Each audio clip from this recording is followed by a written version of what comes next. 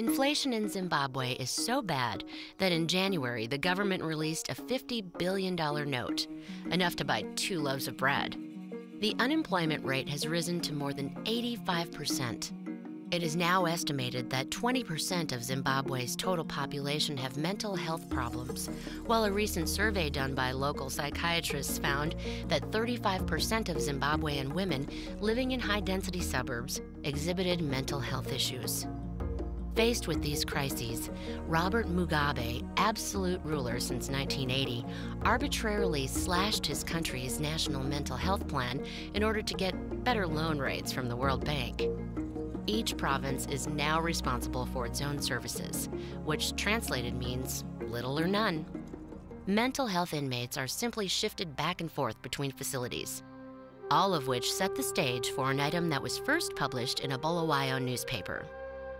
The road from Harare, the capital city of Zimbabwe, to Bulawayo in the southwest crosses stretches of lonely scrub brush dotted by small traditional villages huddled around patches of trees.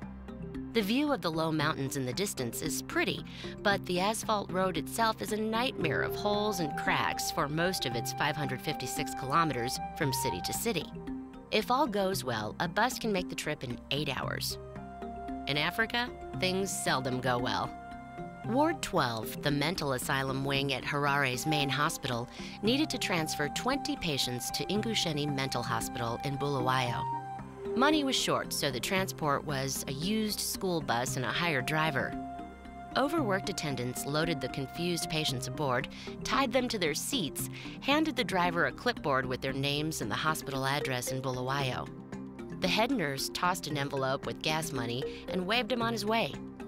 The only stipulation was that the driver had to get the patient signed into the next hospital to get his wages. Four hours later, and somewhere south near the small city of Gweru, the harried driver spotted some roadside stands and pulled off for a break. He locked the noisy bus and went off to see what he could find. What he found included some locally brewed beer, which was a lot cheaper than gas. More than a few pints later, the driver staggered back to stare in shock at his silent and thoroughly empty bus.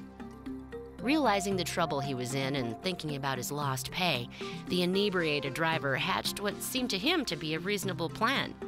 He jumped in the bus and raced for the crowded transport station in Gweru. Parking nearby, he checked the fare for one way to Bulawayo and then offered half price tickets. Holding the clipboard to look official, he was soon besieged with anxious passengers waving cash. He turned away families with children, and when he reached 20 adults, he shook his head to the remaining crowd and drove quickly off down the road. Bulawayo was once a fascinating city. Victorian style buildings now stand dilapidated beside broken streets. Zimbabwe's second largest city, its downtown is filled with the color and noise of rushing people, snarling motorbikes, and honking taxi vans. The bus driver spotted 23rd Avenue and drove directly up to the large Ingutsheni Mental Hospital emergency doors. Calming the passengers, he told them he'd be right back. The driver rushed through the double doors and found an overworked admittance staff. He slapped down the official paperwork from Ward 12 and explained that it had been a stressful trip and the sooner he could be on his way again, the better. He warned the nurses and helpers that his charges had escaped their restraints during the trip and were particularly excitable. Excitable was an understatement. Staff removed the furious and struggling passengers, paying no attention to their rants. They'd heard it all before. The driver was paid and hurriedly drove off. It was three full days before suspicions were roused by some of the clinicians in the ward due to the consistency of the stories from all 20 of the transferred inmates. As for the real patients, nothing more was heard of them. It's assumed they just blended right back into that 20% of the population from which they came.